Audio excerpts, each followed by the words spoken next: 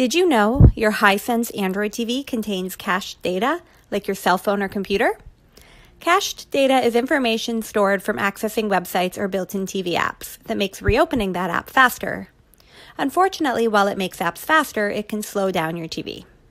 To clear your cache, press the upward arrows on the directional keypad on your Hisense television remote and scroll across to the gear in the upper right. This is your TV settings. Select it using the center button in the middle of your directional arrows on the remote. From there, scroll down to Device Preferences and select it using the Select button.